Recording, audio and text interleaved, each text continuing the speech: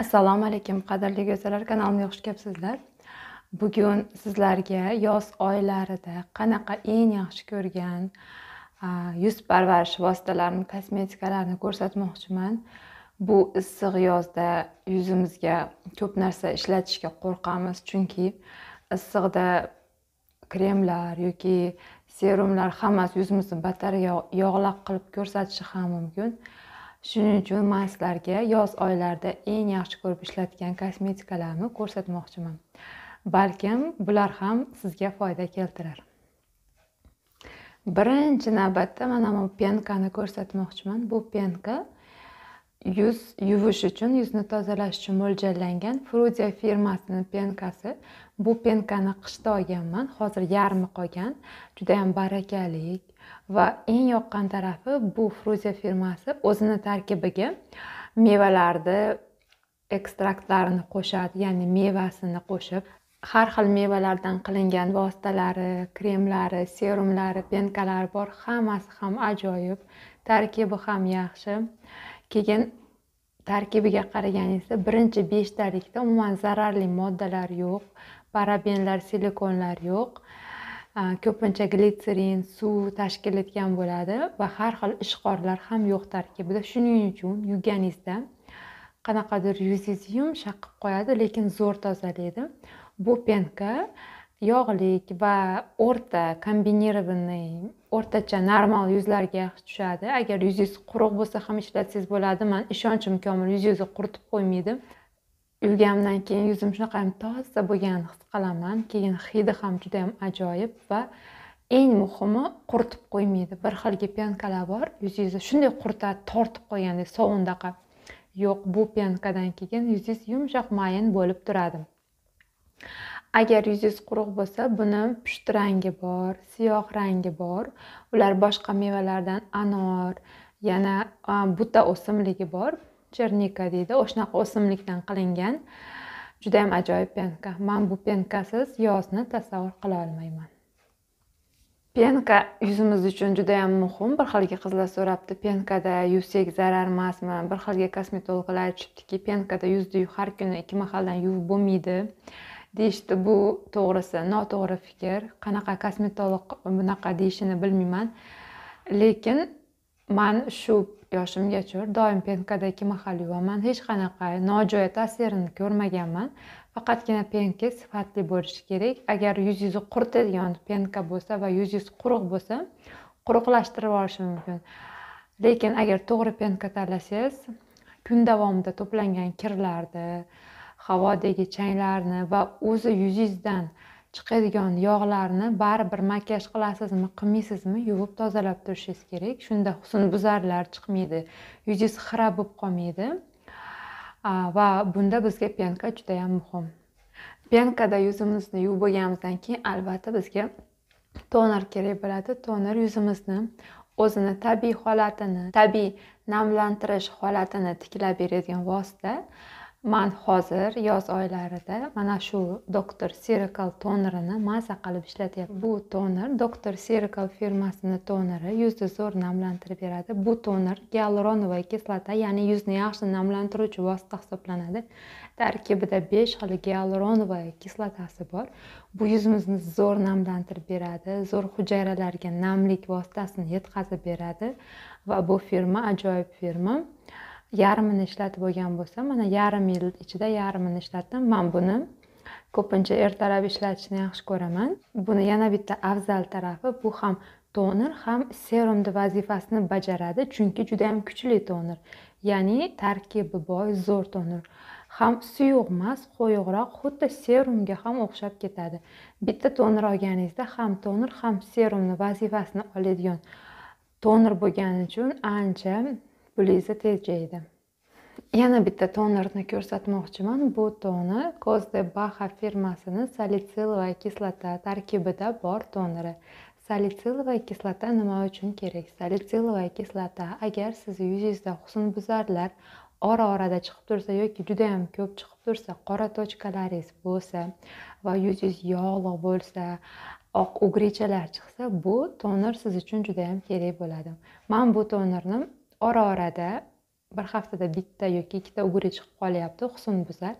Shuni bartaraf qilish uchun shular chiqmay qo'yish uchun sotib olgandim. Man buni kechqurun ishlatishni yaxshi ko'raman. Kechqurun kunora yuzimni pyankada yuvib bo'lgandan keyin shu tonerdan suraman va bir oydan beri ishlatayotgan bo'lsam ancha husnbuzarlar chiqmay qo'ydi. Mana bir oyni ichida bittagina husnbuzar chiqdi. Undan oldin judayam ko'p chiqishni boshlagani uchun yuz parvarishimga salitsilовый kislotalik tonerni qo'shishga qaror qildim. Bu ham juda barakalik judayam kam ketgan bir oy ishlatayotgan bo'lsam. Salitsilовый kislotalar tonerlar juda ham ko'p. Bu bo'lmasa boshqacha salitsilova kislotalik tonerni yuz parvarishingizga qo'shsangiz albatta ugrilar husnbuzarlar qora tochkalar umuman sizda chiqmay ketadi. Tonerda yuzimni namlantirib bo'lgandan keyin ko'p narsa surishni xohlamayman. Serum hozir ishlatmayapman. Yengilgina krem ishlatyapman. Hozir mana mana bu mana shu aromatika firmasini kremi. Bu kremni hajmi judayam katta. Agar yuz ellik millilitr. Bu krem uchun judayam katta. Odatda kremlar ellik millilitr bo'ladi xolos. Lekin bu kremni afzal tarafi judayam yengil zo'r yuzingizda turadi. Yengil bo'lsa ham yuzingizni zo'r namlantirib beradi. Ozgina surasiz va yaxshilab yuzingizga singdirib yuborasiz massaj harakatlari bilan. Bemalol baza qilib ishlatsa ham bo'ladi. Bundan keyin tonalniy kremlar ham yuzga yaxshi yotadi. Eng afzal tarafi mana bu hozirgi issiqda yuzimizni og'irlashtirib qo'ymaydi tonal kremlar bilan yaxshi chiqishadi va tezda yuzimizga singib ketadi lekin yuzimizni yumshoq qilib judayam yaxshi namlantirib beradigan krem. Buni buni tarkibida aloe geli geli bor. Aloe geli yuz yoz oylarida mana bu qorayishlardan yuzimiz oftobda kuyishlardan ham judayam yaxshi vosita hisoblanadi. Yoz oylarida o'zi yuzimizni qiynamasdan oziqlantiruvchi kremlardan voz kechib ayniqsa hozirgi issiqda yengil shunaqa kremlar ishlatsak yuzimizga ham yaxshi bo'ladi yaxshi namlantiradi ham og'irlik qilib qo'ymaydi. Yana bitta ajoyib vositani ko'rsatmoqchiman bu spf krem. Bu spf krem frudia firmasini spf krem bu spf krem judayam yaxshi spf krem ellik plyus uchta plyusi bor yaxshi himoya qiladi yuzingizni quyoshdan albatta yuzimizga bo'ynimizga ochiq joylari bor joylarimizga oftobga surib olsak oftobdan bizni himoya qiladi bu kremni yaxshi tarafi ko'pincha spf kremlar bor shunaqa spf kremlar eski filtrlik ya'ni eski avlod filtrlari bor. Ular oqartirib qo'yadi yuzni va yog'li qilib qo'yadi. O'zi issiq bo'lsa yana uni spf kremni surib olsak yuzimiz yog'lansa bizga bu ko'pincha yoqmaydi. Quruq yuzlilarga balkim tushishi mumkin lekin yog'li yuzlilar tushunishadi. Hozir nima deyotganimni xuddi yuzimiz yog'li blinchikdaqa bo'lib qoladi. Bu esa bizga yoqmaydi. Bu spf krem yuzga yaxshi singib borar ekan. Keyin yaxshi himoya qiladi quyoshdan. Va yog'lanib yuzingizni bilintirib yoki undan keyin suradigan vosita sursangiz unaqa tonalniy kremlarmi bb kremlarmi yaxshi yuzingizda turar ekan. Bu spf krem o'rta narxdagi spf krem hisoblanadi. O'rta narx qimmat ham emas arzon ham emas. Yoz oyiga aynan muddao agar siz yaxshi spf krem va uncha qimmat emas spf krem yoqtirayotgan bo'lsangiz albatta bu fruzia spf kremiga e'tiboringizni qaratishingizni maslahat bergan bo'lardim. Yana juda yam ko'p e, shu kunlarda savol shunaqa savol yozishyapti. Piling haqida video olganimda shuni tagiga piling ishlatsa bo'ladimi yozda? Ziyon bo'lmaydimi? Dog' tushib qolmaydimi? degan savol kelyapti. Bir kunda еще bir marta shu savol kelyapti javob beryapman. Ha yo'q zarari yo'q deb javob beryapman. Lekin hozir e, sal tushuntiribroq javob bermoqchiman. Nima uchun zarari yo'qligini u pilinglar kosmetolog qiladigan biz o'ylagan siz o'ylagan pilingnaqa emas u piling faqatgina yuzingizni ozgina mana o'lik hujayralarni oladi. Umuman yuzingizni terisini shilib yubormaydi bilinib qolmaydi. Shuning uchun umuman qo'rqmasdan bemalol bir haftada bir marta agar yuzingiz yog'liq bo'lsa quruq bo'lsa bir haftada bir marta emas o'n kunda bir ishlatsangiz bo'ladi bemalol. Faqat ishlatgandan keyin sezasiz yuzingiz silliqlashganini va ozgina rangi ocharganini chiroyliroq bo'lganini sezasiz. Lekin kosmetologdagi pilinglarni hozirgi oylarda umuman ishlatib bo'lmaydi. Chunki ularni foizi juda yam katta bo'ladi. Bu hozirgi magazinlarda sotiladigan pilinglar foizi judayam kichkina qizlar. Umuman yuzga hech qanaqa zarar keltirmaydi. Lekin kosmetologlarni pilinglarni faqatgina qish oylarida quyosh umuman yo'q oylarda qilish kerak.